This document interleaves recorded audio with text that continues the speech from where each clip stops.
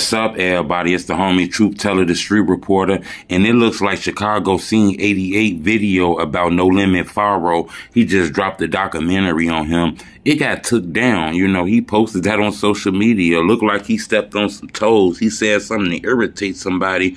You know, uh, he got a copyright strike. They took his video down. Uh, he showed the world that, you know, that video was dope too. Chicago Scene 88 put together some dope documentaries.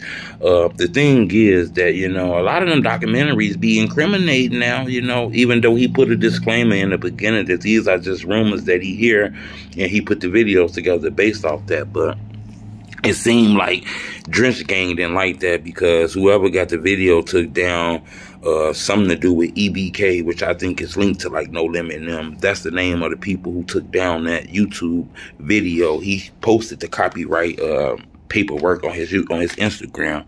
You know, the thing is, Chicago Scene 88 do videos a lot, but most of the videos be on people who passed away. You know, when he did the Faro, you know, Faro is still alive. You know, he not dead. He's alive. And this video, you know, put shootings and killings and all kind of shit on him.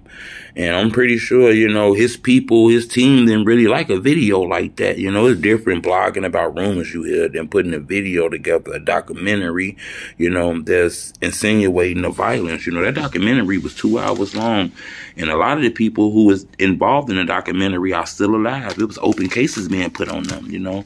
Um, not saying that, you know, once this information come on the internet, it ain't like he made the information himself. It ain't like Chicago Scene 88 put it out himself. He got this information as public record. And, you know, he put it together, you know, to J down on, on him. You know, you got to get down on Fox 32 News, too. You got to get down on CNN, too. He just reporting on shit that's already out now.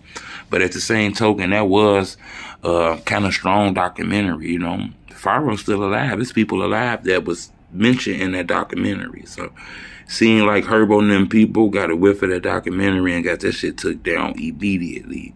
I want to ask y'all the question. Do you think that's going too far by banding together on YouTubers, content creators who putting this content together? Do you think it is a line to walk when the person is alive and his documentary is about bodies and shit getting put on him? I'd love to know what y'all think. Leave a comment. It's the only truth. Bleh.